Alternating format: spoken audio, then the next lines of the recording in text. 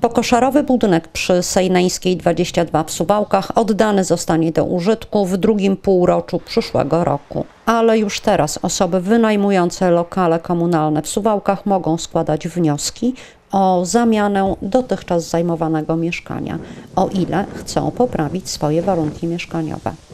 Na nowych najemców czekać będzie 12 jednopokojowych mieszkań, 17 lokali dwupokojowych oraz 13 mieszkań złożonych z trzech pokoi.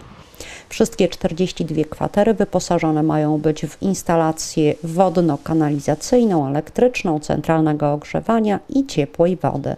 We wszystkich znajdą się również indywidualne liczniki ciepła, zapewnia ratusz. Najmniejsze mieszkania mają powierzchnię od 29 do 32 m2. To wystarczające lokum dla osób samotnych lub co najwyżej bezdzietnych par.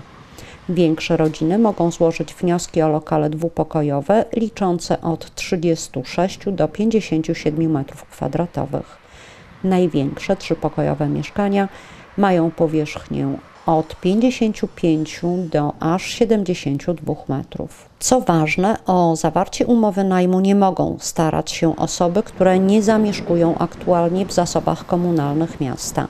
Tutaj w grę wchodzi wyłącznie zamiana. Drugi warunek to brak zaległości w opłatach za dotychczasowe lokum. Ostatni z wymogów dotyczy możliwości ekonomicznych przyszłych najemców. Na zamianę mogą liczyć ci, którzy osiągają dochody pozwalające na ponoszenie kosztów utrzymania mieszkania.